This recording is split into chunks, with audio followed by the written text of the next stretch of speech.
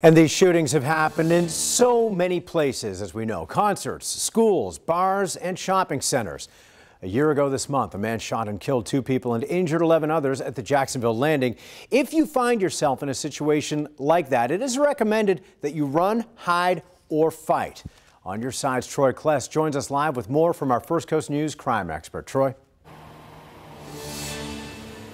That's exactly right. We're live here at TIAA Bank Field next to Daily's Place where there's actually a concert going on. And of course, there is a visible security presence in the form of JSO officers and other security guards. Now, our First Coast News crime and safety expert says it all depends on the situation and where you are in relation to a threat, and that being aware of your surroundings can also make a difference two mass shootings in one day, scenes that law enforcement officers must be ready at any moment to respond to. Every officer that's out there on the road has had active shooter training and how they're going to respond, along with all the other units that are heading to that particular uh, incident. On the phone is crime and safety expert Mark Bachman, who reminds others that no matter what setting you're in, the same principles can be used to respond to an active shooter while help is on the way.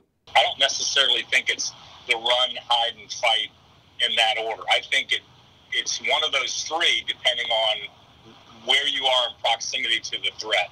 If you're in a position where you could overcome the individual with a weapon and they didn't see you, well, there's your fight. Bachman adds that no matter where you are, be aware of your surroundings, know where the nearest exit is, and if you see something, say something.